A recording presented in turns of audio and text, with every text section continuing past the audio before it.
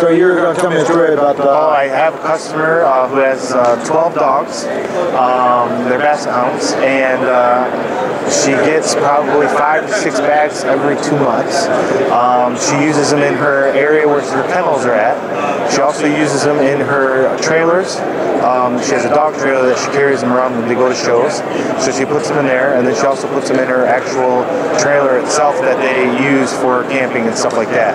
Um, they've noticed a significant difference in the decrease of dog odor, um, and I actually use them myself at my house for my dogs in my laundry room work. Oh, it's cool. great product. I would recommend